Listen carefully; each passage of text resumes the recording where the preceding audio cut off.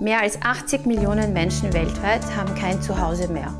Viele Geflüchtete bleiben zunächst innerhalb ihrer eigenen Heimatländer und ziehen erst, wenn sie dort keine neue Lebensgrundlage finden, in die Nachbarländer weiter. Sie lassen dabei oft ihre Familie und ihr gesamtes Hab und Gut zurück.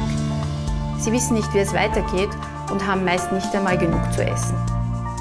Helfen wir Menschen auf der Flucht gemeinsam. Mit einem Care-Nahrungspaket, das ihnen das Überleben ermöglicht. Vielen Dank.